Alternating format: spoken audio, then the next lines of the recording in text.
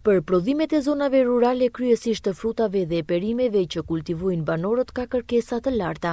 Në fshatin Suhë në Libohovë, banorët vazhdojnë traditën e kultivimit të perimeve, frutave të stinës, vreshtave e të tjera. Për t'i mbjellë dhe për të marrë një prodhim të kënaqshëm do shumë përkujdesje pohojnë ata, të cilët thonë se për to nuk përdorin fare kimikate për t'i mbajtur bio.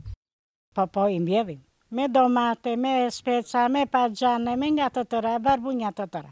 Sa punë duan këto që të mjesh? E po duan punë duan. Tani ne këtu në fshat zakonisht përdorim domaten, specën, patëxhanën, barbunjën, plus vreshtaritë, hardhitë.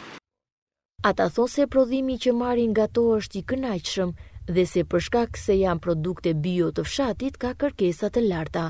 Megjithatë shprehin edhe një shqetësim, i cili është transporti deri në qytet, që shpesh bëhet i pamundur dhe i vështirëson në shitjen e tyre. Si s'ka kërkesa, kush nuk i do gjërat e fshatit. Gjërat e fshatit pa ilaç, pa gjë, i duan.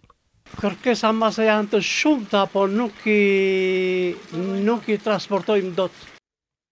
Për produktet bio të fshatrave kërkesa të larta tashmë ka edhe nga turistët që vizitojnë këto zona rurale, ata shijojnë këto prodhime të fshatrave nëpër bujtinat që qëndrojnë.